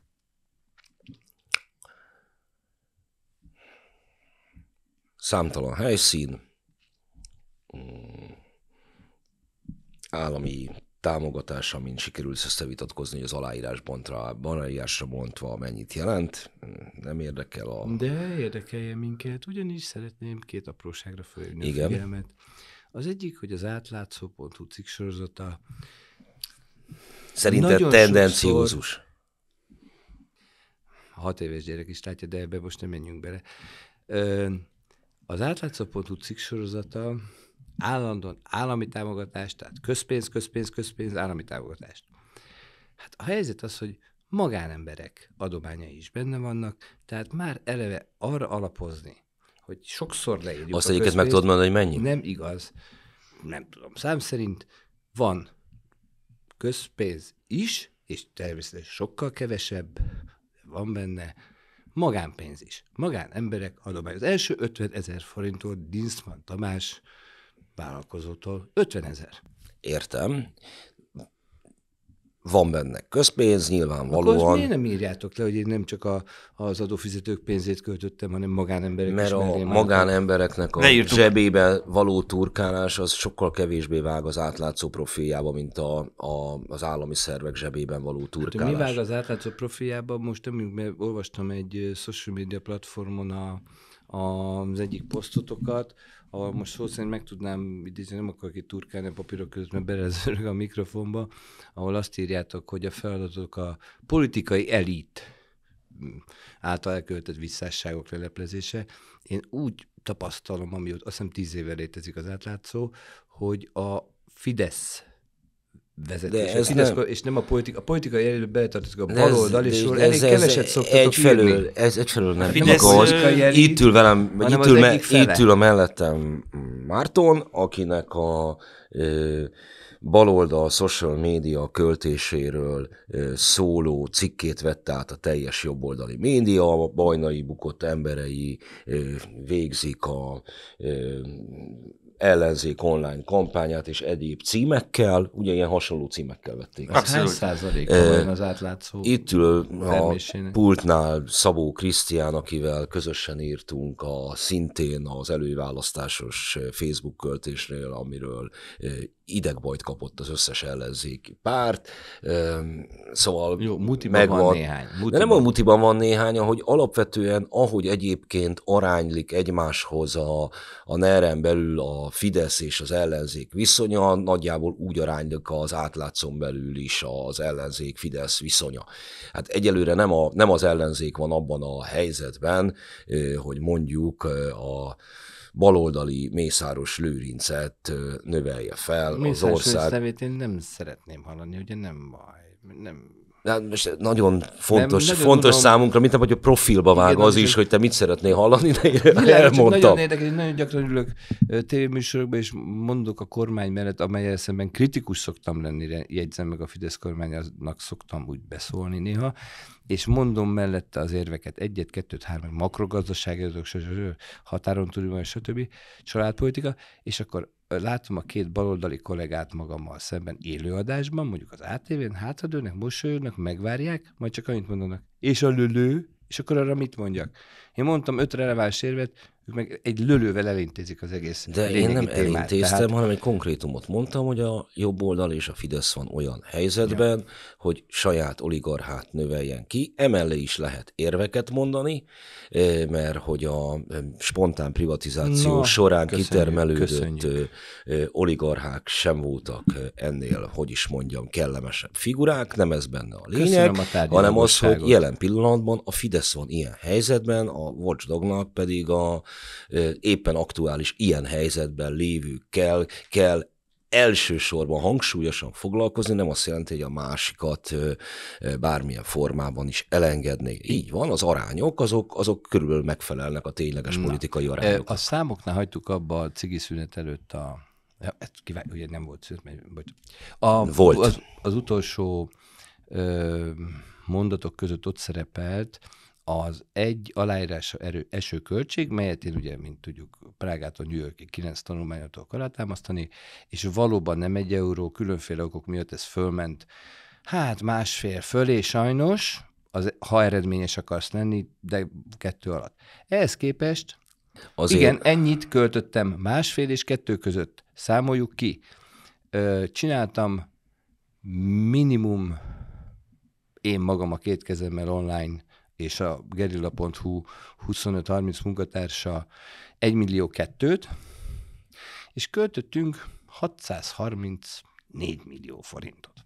Ha most matekorunk, Nagyon egyszerű, gyerekek. Ez másfél-két euró közé jön ki egy aláírás, Igen, de és ti a... leírjátok sokszor az öt eurót, ami ordas hazugság, de és azért... kérem, hogy ez maradjon benne a vágott anyagba. Minden, 2000... minden, tá, már, már másodpercet van. Szóval ez minden benne fog maradni, természetesen. A különbség a számításban ott van, hogy mintán tisztáztuk azt, hogy 2020 augusztusi a támogatás megítélése, a cikket jegyzők, azok az attól az időponttól származó aláírásokat számolják, nem mond semmit, te viszont kivetíted az egészre. Majd az olvasó eldönti, vagy a hallgató eldönti, hogy melyik a helyes számítás, de ez a számszaki különbség ebből ered. Az egyik csak a költségeknél, vagy a lebontását a költségeknek egy aláírásra azt veszi figyelembe, ami a megítélés után történt, tehát az a 300 valahány ezer aláírás, te pedig az egész pakra számolod ki. Az a probléma annyi is, hogy amikor én azt a kijelentést teszem különféle baloldali és jobboldali politikusoknak és hitészeknek, hogy valóban a múltban összességében az egész szokott Európer aláírás lenni, és kiderül, hogy van ez sajnos már több mint másfél is, kettő és másfél között, azt én az egész kontingensre, erre a 15 hónapra értem? És most elkezdhetünk Mi meg ilyen, ilyen vagy a cikket amit pedig... már rég elvesztette az olvasó a fonalat, hogy ki mit, én az egészre kértem, és mond, állítottam ezt az egy eurót, amiből valóban fölment másfél fölé, és ti meg leírjátok az ötöt. Na. De a különbség az ebből ered. Az egyik az 300 valahány ezerre van kivetítve, a másik meg 1 millió 300 valahány ezerre. Így van. Mind a kettőt alá lehet támasztani, te azzal támasztod alá, hogy mégiscsak az egészről van szó, meg az, hogy amikor te az megkaptad, amikor te megkaptad a kormánytámogatást, akkor 1 millió 8000 aláírás már a talomban volt, azt nem, az meg volt Sőt, nem csak akkor, amikor megkapta ezt a támogatást, hanem akkor, amikor erre a támogatásra pályázott a kormányzati pénzalapnál. És amikor... Akkor állítottam abban a pillanatban, hogy az egész akció valószínűleg egy euró per izé, egy euró per arányba kijön, és ez valóban fölment másfél fölé különféle. De engem a félreértésnesség az... állításom igaz volt, és ehhez képest de ez, ez is leíródik az 5 de nem, euró, ami ez hazugság. teljesen, nem, ez nem hazugság, hanem csak is kizárólag azt veszi figyelembe, ami a pályázat és a megítélés után gyűlt össze no, aláírás. Engem egyébként nekem az 5 euró sem fáj, mert... Mert sikeres, bocsánat. Nem csak azért, mert sikeres, hanem mert jobb helyen van, mint, mint mit tudom én, melyik panzióra odaítélt tüzébarok torony, szóval nem, nem, nem érdekel. De attól ez még, ez egy alátámasztható. Na, szóval ott van az, hogy van egy ügy, amely hozzá származási okokból, identitásból, elkötelezettségből közel áll, ráeszmélsz, hogy van, megítélésed szerint, hogy is mondjam, romantikus hozzá nem értők kezében. Te indul... Nem, nagyon jó jogfilozófus, és a marketing kommunikációhoz nem értők kezében. Jó, akkor így. Pesti László elmondta, hogy kiknek a kezében van, én ezt lefordítottam úgy, hogy involválódsz az ügyben. Élvezet?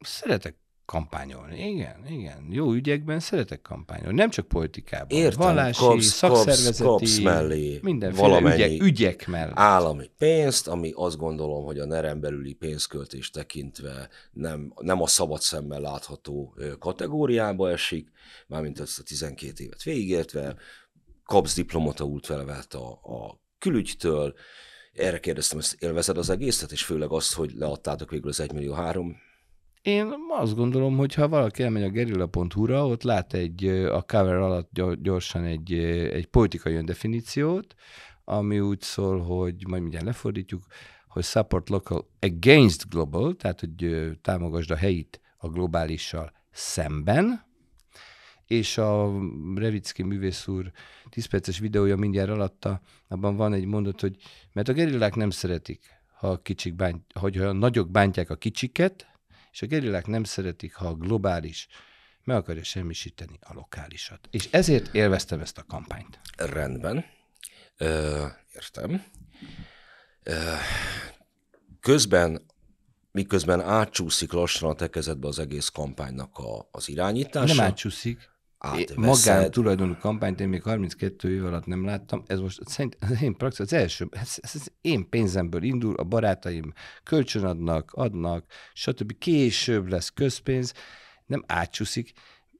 Én és mondjuk négy ember találjuk ki a legelejét, egyedül vagyok, aztán ketten, aztán négyen, aztán hatan, nem Tehát hozod a... mit csináljuk hát, meg? Nem, a székely, oké, ez ezt értem, Nulla, az origótól, mit csináljuk meg? Nem az origótól, mert ugye már ott van. A kampányt igen. A, a kampányt igen, de ott, de magát az aláírás gyűjtést, azt nem ti kezditek el, a Székely Nemzeti Tanács csak 5%-on vagy 8%-on állnak. 5, 5, 5, 5, 5 százalékon áll, után. Állnak 5 százalékon, akkor mondom az egész aláírás gyűjtés, most nem a kampány, az aláírás gyűjtés csúszik át, vagy hozzátok, vagy veszed át, mindegy, hozod a saját környezetedet, közben közte olyan embereket, amelyeket mi most ebbe a vitába ne kezdjünk bele, csak ott már ismertetett okok miatt obskurus figurának tartunk. Többes például. számot használtam, mondjál még egyet kis szárdon kívül. Az embereket. Nem, az ki, em... ki obskurus még? Én kis szilárdra gondoltam, Tehát csak most nem akartam ezt a vitát újra hát nyitni. Hát, jó, ne nyissuk, csak De... ember embereket, egy obskurusot találtatok a gyakorlatilag száz ember között, aki dolgozott Stimmel, hónapot. csak hogy mindeközben a nem uniós székhelyi Moszkvába megfordulsz, ö, ö, ott vannak benne a balti orosz kisebbségnek nem a legmakulátlanabb képviselői, mert ez az orosz kispártot sem tartjuk annak, Hát ti nem tartjátok annak. Stimmt. Biztos bizonyítani is. És hogy a most pont ebben a háborúban, mint te említesz, az a helyzet, hogy szerintem az van, vagy hogy is mondjam, csak nem fogalmazok még finomabban nem zárhatok ki annak a lehetőség. Vagy ha én orosz titkos szolgálat volnék, akkor megpróbálnék minden ilyen ügyet, mint hogy egyébként az az orosz titkos szolgálatoknak, hogy is mondjam, eh, abszolút profiljába vágó tevékenység, fellazítani, vagy a magam hasznára is fordítani. És amit egyébként az a magyar... ugye? Tehát a franc, igen, az, tehát az a... ilyen bürónak, az MI5-nak, a cia más... biztos nem, ugye? Tehát csak az oroszoknak a sajátossága ez, ugye? Az oroszok használják az, az amcsik nem. Az ugye? európai kisebbség védelmet kifejezetten az unión belüli fellazításokra ezt használják. Az amcsik nem. A más területeken esetleg Bizonyára, Európában is, ugye nem? Bizonyára használják, és amikor a... Mert az oroszokat hangsúlyozunk, már most is második órája. CIA-val nem tárgyaltál, vagy olyan, olyan, olyan marketingessel, akinek a, a hogy hát is mondjam. vádolhatnátok ezzel is, mert a nagynéném a 80-as években, amikor még Komcsi diktatúra volt Magyarországon, az Amerika hangja főszerkesztője volt egy ideig Washington DC-ben, tehát éppenséggel lehetnék amerikai ügynök is, hogy mostanában bizonyos a székely és európai kisebbségi ügy ellenségei mostában Magyarországon, orosz barátkörökben azt mondják, hogy valójában én ukrán ügynök vagyok, hogy elássák az ügyünket, érted? Na ennyit a vélelmekről, a hiedelmekről, Ez a, vélelmekről, a pletykákról. A hiedelmekről, mert ami a magyar közvéleménynek az egyébként nacionalista részében megvan most alapozva az orosz-ukrán konfliktusban, orosz barátságban, az többek közt ilyen ügyekben áll össze, hogy az oroszok azok, amelyek egyébként szívükön viselik a magyar kisebbségek sorsát, viselik szívükön egyébként a lótúrót, maguk ügyét viselik a szívükön, nem mást. Jelentétben a CIA-val. De hogy jön ide a CIA? Hát, hogy miért oroszozunk két, a, miért oroszoztunk két órán keresztül múltkor, Kedves László, három cikk most az itt megígérem neked, és ez, a, ez lesz a vég, vég, végkicsengése. Ez olyan, e, mintha már ez lesz, meg. mondom még egyszer, a végkicsengése, ha találunk a környezetet, vagy legközelebb felvonulsz egy olyan emberek, emberrel, aki a Los Angeles-i magyar konzulátuson, vagy a Washingtoni követségen ö, ö, üzemeltetett olyan A kedvedér, a kedvedér keresek egyet. gócpontot, amely amerikai állampolgároknak árusított vagy juttatott magyar vizumot, akkor esküszöm neked, hogy a CIA és Pesti László nem nyugszik változatlanul címmel fog De az átlátszó lehetnék- cikkeket hozni. Lehetnék baszk ügynök, esetleg Nem, mert flamand, esetleg a baszk és a, szlovén. a baszk és a kurd, az biztos, hogy ki fog maradni, mert csúnya szavak. Igen, a számi ügynökség nem merülhet föl. hogy. Svéd és számi ügynök vagyok De. egyszerre, Jó. Számi ügynöknél befejezhetjük? de még én egyszer egy mondatot Igen. szeretnék. Ö, és ezt Andis nem neked adresszám, sőt nem is Mártonnak, mondjuk, a, és nem is Bodoki Tomi főszerkesztőnek, aki régi, megmondom, hogy nem rossz ismerősöm, hiszen 2006-ban egy nagyon bátor és profi munkát publikálta a szemkilövetés okán. Én azt gondolom, hogy és szeretném, ha ez benne maradna a vágott anyagban. Hiszen eleve megkértem Tomit, hogy akkor jövök szívesen, ha élő, ugyanis az élőben, ami kimegy az éterbe, meg a webre, az letagadhatatlan. Na tehát, a következő. Két éven Ugyanez fog keresztül kimenni. a jobboldali és a baloldali sajtó is egyöntetően támogatott. Ö, az átlátszó.hu az egyetlen, amely jó két év elteltével a székely és Európai Uniós kisebbségi ügybe beletördi a cipőjét. Pont. Ti vagytok az elsők és egyetlen. De ez nem beletörlés. Hát akkor ezt annak mond, aki nem olvasta a cikksorozatot, meg aki olvasta, azt tudja, hogy az. Nem, az, a, aki a te szemüvegeden keresztül olvasta. Ja. Oké. Okay. Kiváló. Ez volt a átlátszó podcast, és akkor most iszunk valamit.